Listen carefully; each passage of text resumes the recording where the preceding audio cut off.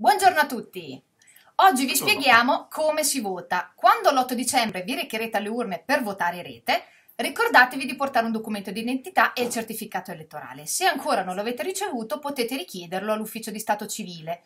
Al seggio vi verrà consegnata una scheda elettorale come, come questa. questa. Per votare rete basta porre una croce sul simbolo di rete, poi nella parte centrale potete esprimere tre preferenze scrivendo tre numeri de- eh, della lista dei candidati di rete oppure esatto. tre nomi e cognomi. Noi vi raccomandiamo di scrivere tutte e tre le preferenze. Mi raccomando, la croce va apposta non sul simbolo della coalizione ma sul simbolo di rete. Ecco, ricordiamo per la milionesima volta che l'unico partito alleato con Rete è domani Motus Liberi e infatti la nostra è l'unica coalizione presente in questa tornata elettorale.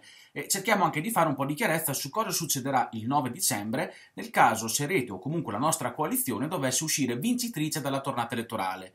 Se dovessimo ottenere un risultato superiore al 50% più uno dei votanti, andremo al governo da soli ma se questo invece non dovesse accadere, allora si aprirebbe la fase di consultazioni in cui dovremmo andare, a, eh, dovremmo andare a dialogare con tutte le liste, tranne quelle che abbiamo espressamente escluso come Repubblica Futura.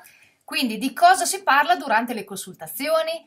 Ci si confronta sui programmi, sulle compatibilità dei programmi, cercando di arrivare ad una sintesi che abbia come fine ultimo l'interesse generale del Paese Naturalmente il primo partito, colui che apre le consultazioni, sarà quello con più forza negoziale. Per questo è importante che sia Rete ad aprire le danze.